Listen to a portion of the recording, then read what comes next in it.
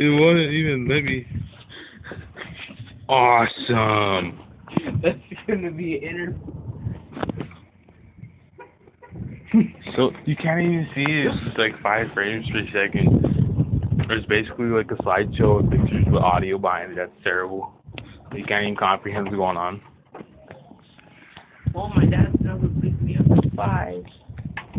He's probably hitting the web with CJ. CJ.